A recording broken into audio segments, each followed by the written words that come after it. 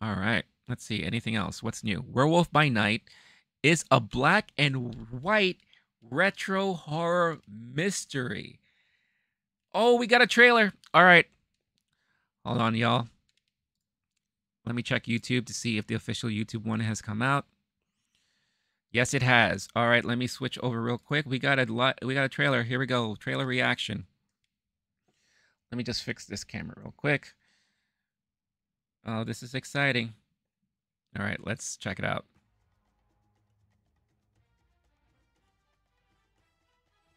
Wow, this looks really retro. This looks like the stuff you would see on TV in the 80s.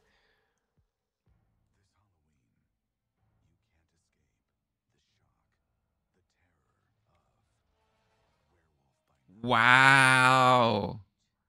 Very universal like.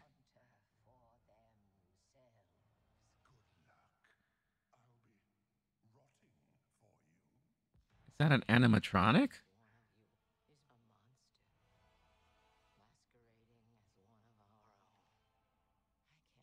I like the look of this. Ooh, with the film grain and everything.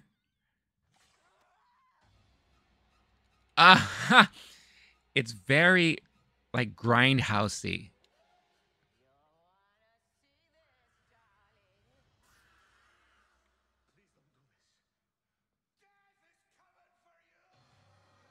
Ooh.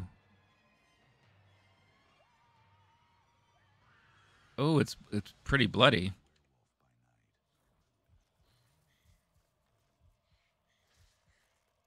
Oh, that's oh, I love the work with the the shadow. Oh. okay. All right, you got me. You got me.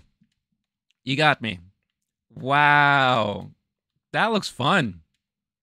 That looks like a lot of fun.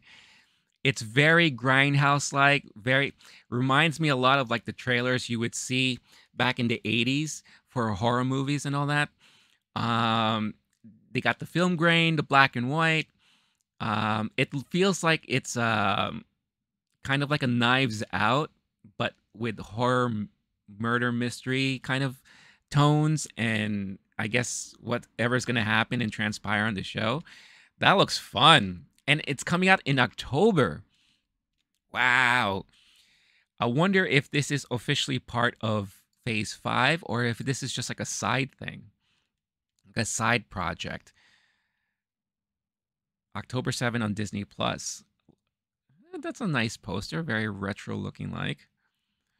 Um, but yeah, curious, what are your thoughts on Werewolf by Night? I'm totally surprised by that. Totally, totally surprised by that. You know, very, very interesting. I am really intrigued now, and we don't have long to wait for it. Was that man thing we saw? in the Werewolf by Night trailer? Get out of town. Wow. Because everything is, I mean, seeing things in black and white and with the quick motions, but we are getting Man Thing.